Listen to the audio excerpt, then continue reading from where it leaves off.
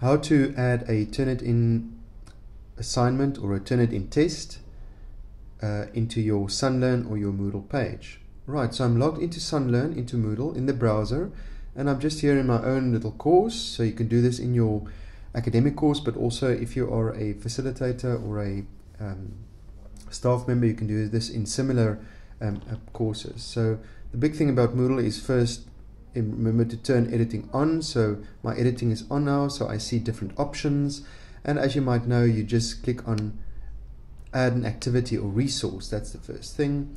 And then you scroll down and there you see Turnitin assignment 2 that is the activity that you need to um, add. So I click on select and I click on add.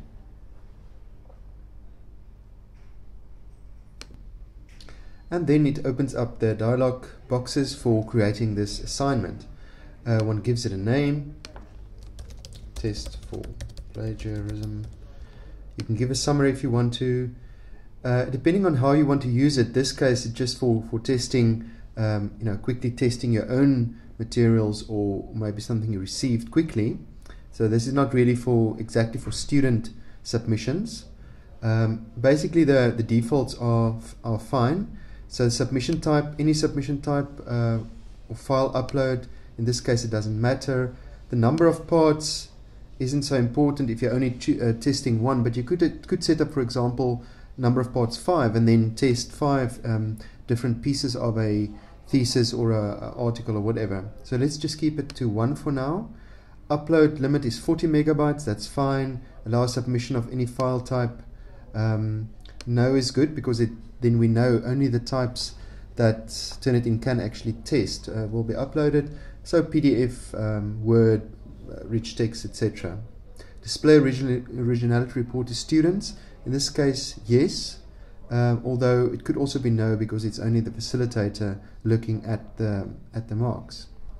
The grades doesn't uh, matter. The auto refresh grade scores that is fine. It's all uh, basically default. Then one could describe the um, the assignment's name and the start date and due date, etc. One could make it a very long time, for example, if you're setting up a kind of a system where you want to test the whole time. Um, let's make the post date also long. Now, originality report options. This is very important. Allow submissions after the due date. Yes. Generate reports immediately. Resubmissions allowed until due date. It must be on because that's what, what it saves time basically. And here, store student papers. No repository or standard repository. Right, so if it's student papers official, then choose, yes, store it in the repository. But if you're just testing something as a lecturer, then choose no repository. In that way, it won't go and lie on the system and create um, difficulties later on. Then what you want to check for plagiarism is against all stored student papers, yes. The internet, yes. Against journals, periodicals, and publications? Yes. So you're checking everything. Depending on bibliography or not, you excluded no, exclude quoted material no. In this setup, you get basically a raw view of this is the text of the, the, the writer, and this is where that text exists elsewhere um, in the known internet, internet and also in this database. And then later on, one could uh, play around with it, etc. And so I click to save and save and return to course. Okay, now we've seen here that my um, assignment, my Turnitin assignment uh, was added.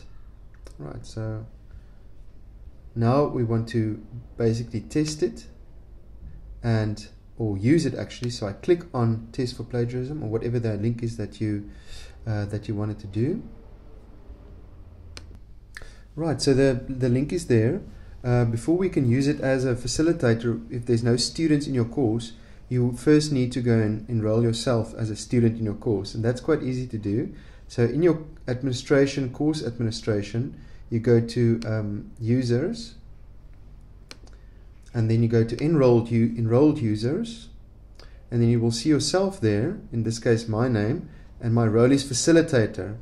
Now, just next to that facilitator, that block there, you just click there and then you assign roles, assign yourself the role of student. Fantastic. And that is, that is how you basically then become a student in your own course. And that way you can use Turnitin, as it were, for yourself.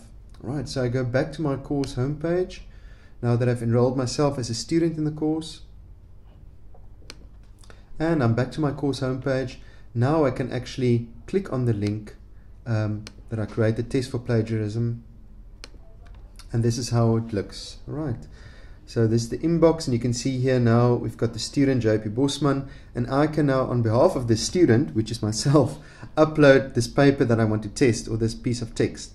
And then you find this little um, upload little cloud. So I click on that.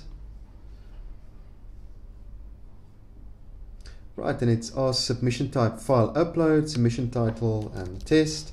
Files to submit, I just click on that um, little button. I choose the file from my computer.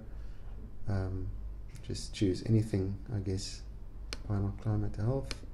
Uh, open, and I upload the file, and that's basically it. And I click Add Submission. Now remember, it's going to test it and turn it in, uh, but it's not going to submit it to the student paper repository, which is which is quite important. Uh, one sees this digital receipt, your submission has successfully been uploaded. That's wonderful. We can click, click the close button. There we go. And then once back here, you will first just see similarity pending. It will be gray, um, which means that it must first do its thing. And basically one can come back in a few minutes or an hour's time and then click on that little percentage to actually see the see the similarity mark and then view the report, etc. So I'm going to stop the video here. Hopefully that is useful. Uh, remember to just add it, add yourself as a student to your own course, um, know how to upload, and then you can interrogate the similarity report that's eventually uh, created.